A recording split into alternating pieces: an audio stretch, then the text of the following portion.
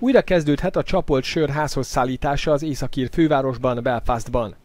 A Hatfield House nevű kocsma kezdeményezését a rendőrség először leállította, és most azért engedélyezte, mert a működés módját áttekintve már biztosítottnak látta, hogy az alkohol árusítására vonatkozó jogi előírásokat így is be tudja tartani a kocsma.